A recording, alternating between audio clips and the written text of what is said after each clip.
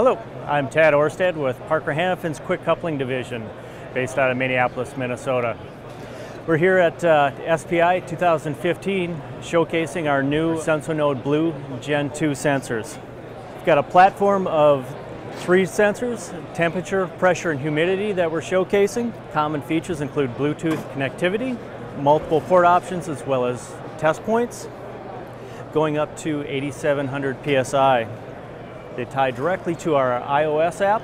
With this app, we have uh, live monitoring, alarm conditions, as well as uh, history and data output. We also have temperature with a live probe designed to go into the wetted fluid flow, a non-invasive temperature clamp, and our latest technology offering is our EAP stretch sensor.